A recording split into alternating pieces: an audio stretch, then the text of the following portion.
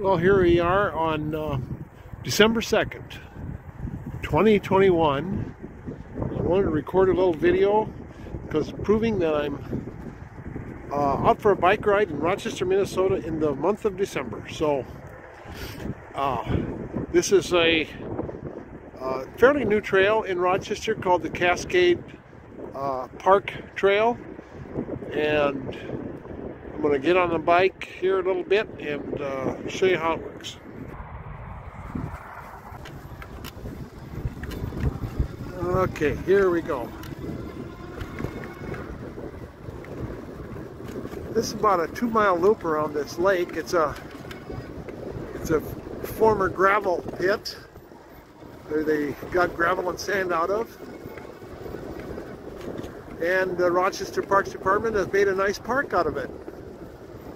So it's about 50 degrees today, kind of windy. But anyway, that's bicycling in Minnesota in December.